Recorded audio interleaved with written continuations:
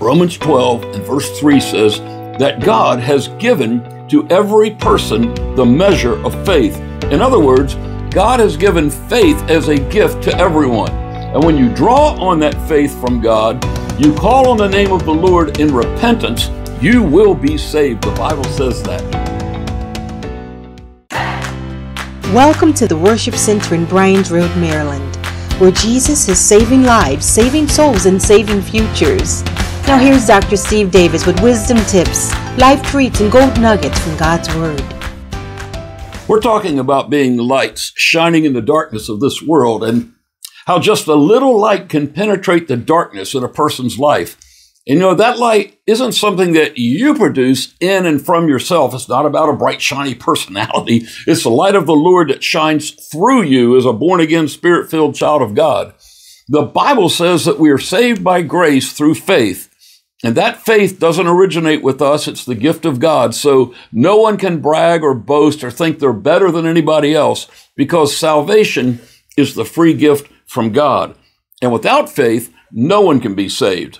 And fortunately, Romans 12 and verse 3 says that God has given to every person the measure of faith. In other words, God has given faith as a gift to everyone. And when you draw on that faith from God, you call on the name of the Lord in repentance, you will be saved. The Bible says that. And once you come to know the Lord, though, it's not long before you realize that you need to grow, that God is drawing you to Himself so that you can know Him better. The Spirit of God on the inside of you begins to work powerfully in your spirit, and He works in you day and night, bringing changes, maturing and growing you. And there are seven areas that God wants to have added in your life alongside of your faith that will cause the light of God, the character, the nature of God to be revealed in your life and will touch the lives of other people. Second Peter chapter 1 verses 5 through 7 talks about them and reveals what God is wanting to do in your heart and your life. You have faith. That's how you got saved, acting on that faith, calling upon the name of the Lord. But then there's more that the Spirit of God is wanting to release into your life. Number one is what the Bible calls virtue. Verse 5 says, Add to your faith virtue. Virtue, on a common definition, means it's a lifestyle of high moral standards. It has to do with morality, being ethical, having integrity, being honest, being able to be trusted, things like that. And we're in a culture that's not moral it's not moral. It's unethical. It's filled with people who lack integrity, who are dishonest. People are disloyal and untrustworthy. God is working in us to shine as lights in the darkness and to make a difference in the lives of those who know Him and in the lives of those who don't. And having faith is what opens the door for the Holy Spirit to work these other virtues into your life. A lot of people have, on some level, come to the Lord. They want to go to heaven. But Jesus wants to be Lord of all of our lives, not just one time a week on Sundays when we go to a church service or watch a broadcast or a video or whatever. God wants to work through us. He has a way for us to live and how our relationships should go and how we conduct ourselves in our day to day lives. Your day to day life and my day to day life matter to Him. It's our day to day lives that speak to people. Our day to day lives are where our testimonies are lived out. And that's one of the reasons the Holy Spirit wants to keep working in our lives day by day.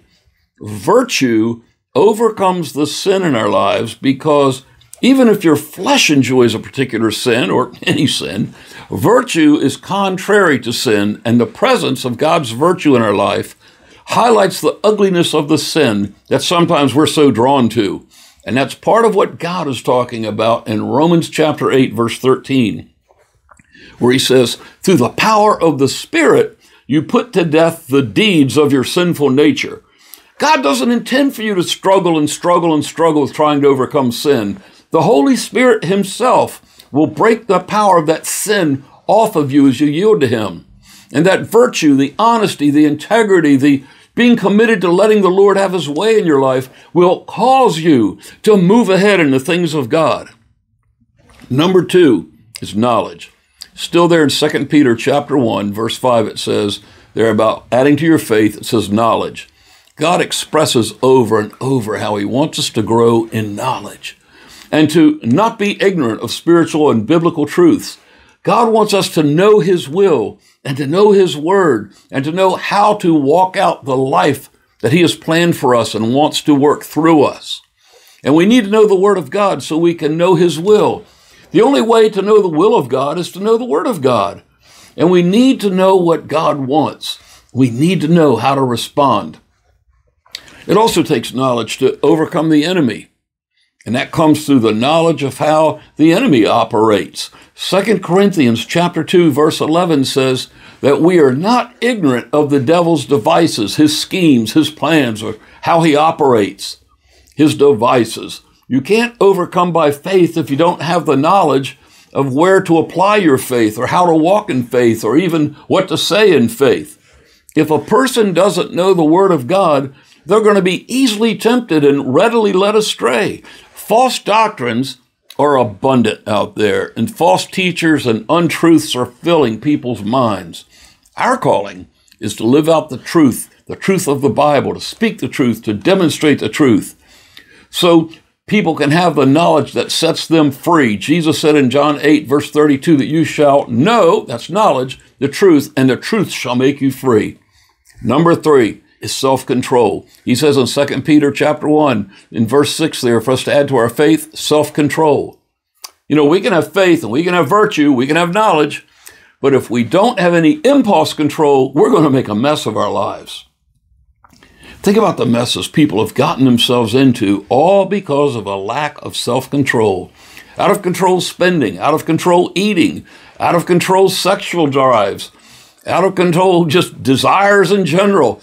Anything can mess up a person's life. So many health problems can come from out of control appetites and habits that, after a while, even the person engaging in them doesn't enjoy. Virtue and knowledge will help with self control because they help us to set standards in our lives. They help us to set boundaries in our lives. Things we just won't do because we're a Christian. Things we won't say because we love Jesus. Areas where we set limits we don't push those limits. Renewing our minds to the Word of God will help reveal those limits and those boundaries. Because you can spend years doing the right thing and yielding to the Spirit of God. Many people do, and then in even just a weekend or less, undo it all and bring shame and humiliation to yourself. That can happen. Plus, it makes such a bad impact on the people around you that you know the Lord wants to help you keep your life and your heart under His lordship and His leadership, self control.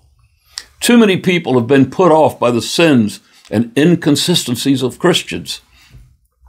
They know enough to expect a difference on our lives, and that difference is revealed when we are not out of control, but we're under the Holy Spirit's control. That's what's so important, under His control. And then there's number four, patience. 2 Peter 1, verse 6 says that adding to our faith, we need to add patience. We need to know that God loves us. His timing is perfect. And sometimes, many times, He has a different timeline, a different schedule than we do. And we need to persevere, to not give up when things are not happening as quickly as we wish they would. I mean, patience is a major thing.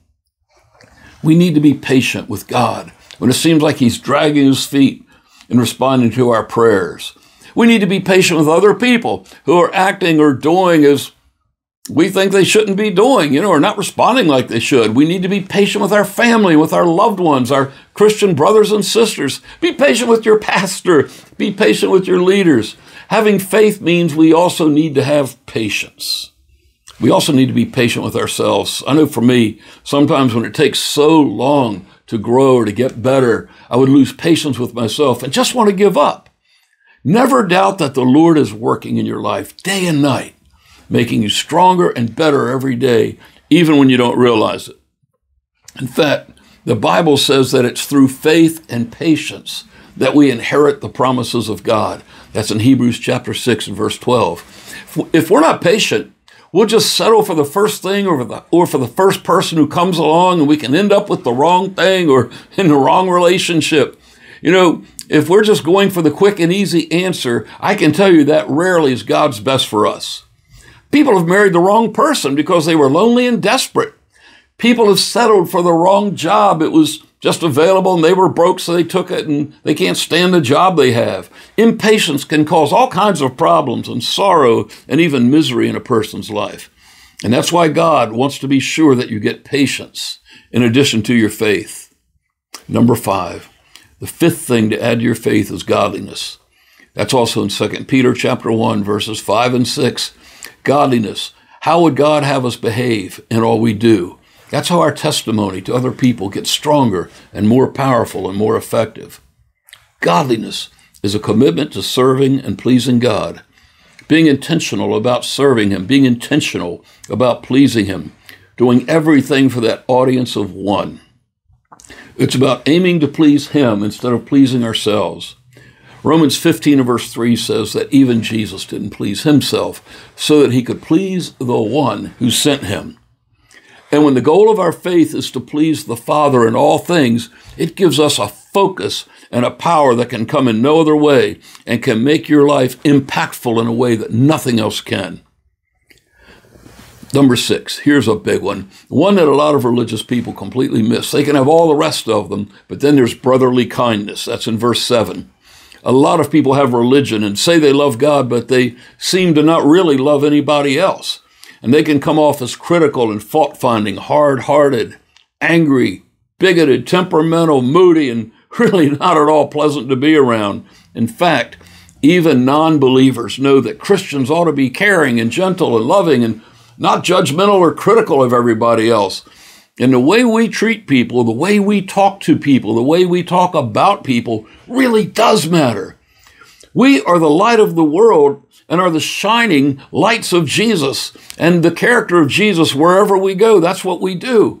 Jesus was not known for running around criticizing people and being hateful and putting people in institutions and all down and all of that. He wasn't selfish. When a person had fallen, he didn't stand there criticizing them or telling them that it served them right. He lifted them up. He let them know that their falling and failing would not keep them away from the love and the cleansing of God. You know, when the multitudes were hungry, you know, Jesus didn't yell at them for forgetting to pack their lunches. Hey, y'all, go ahead and be hungry. You didn't pack your lunch and then turn around and take the little boy's lunch so he could eat it all by himself. No. He displayed what we know as brotherly kindness, giving thanks for that food. He knew how it felt to be hungry, to be hurting, and to be in need, and he multiplied that food and took care of the needs of everyone. And as his followers, we demonstrate that too, caring for other people. One of the best ways your light can shine in the darkness is through brotherly kindness, treating people as people and not as labels not as enemies, not as less than you. Showing brotherly kindness is a major way that you can shine the light of Jesus into this world. And then number seven, love. You add the other six qualities to your faith, then there's the greatest one, which is love. The Bible says the greatest of these is love. And God tells us that love is what activates your faith. Galatians 5 and verse 6 says that faith works by love. Your faith won't work without love as the motivator and the carrier of it. And love is active. Where brotherly kindness many times is reactive, seeing somebody with a need, love is active. Reactive means you might see somebody needing help and then you try to help them, or a person that's hungry and then feed them like Jesus did for the multitudes. But love is active. That means that love seeks to help people. It looks for the opportunity to make a difference in someone's life, to ease the pain, to meet a need. Love helps you to be patient, to be kind, to not be easily offended. Love drives you to believe the best about God and the best about people, the best about situations. It keeps you hopeful. It's love that causes you to reach out to someone who may be in need, even if you don't really care about them or like them in the natural, but you know there's a need and you love them in the Lord. And you may need to text them and, and ask them how they're doing, call them. Love calls you to pull alongside someone who may need help. They may need encouragement. And it helps you to work with them at their own speed, believing you're making a difference and that the Lord is working in their situations for His glory. That's what love does when coupled with faith. Like I said, it's not just because you like them or you have a lot in common, it's because you love them. And those seven things added to your faith intensify the light of God shining into the darkness around you. It's what not only gives you vision, but it helps you to act on that vision. The inventor of the light bulb, Thomas Edison, said that Vision, unless acted on, is a hallucination. Faith without works is dead. The light that you shine will pierce the darkness in you and around you. And that's why way down there in verse 9, 2 Peter chapter 1 says, If anyone lacks these things, they're blind. And I believe that the Spirit of God will quicken these words in your spirit and will cause the light of God to shine brighter and brighter in you and through you for your good, for those around you, and for His glory. And I hope this message has blessed you. I hope it'll keep blessing you. I pray that you'll share this message with somebody that you believe it will encourage and bless. That's really important. Give us a thumbs up if it ministered to you. If you haven't subscribed already to be part of our online family, don't forget to subscribe and then hit that little bell so you get notifications when we put a video up. Know that we pray for you and everyone on our list, everyone on the online list of subscribers, and please pray for me. I always need it and I totally appreciate it. Thank you and God bless. We hope you were blessed, inspired, and challenged by what you heard today. And we pray that God spoke some inspired truths into your heart. This ministry is supported by your gifts and donations. If you'd like to help us spread the good news, you can give at our website, www.theworshipcenter.org, or you can text to give at 301 637 0777. It's easy and takes only seconds to set up. Thank you for listening, and God bless you and your family.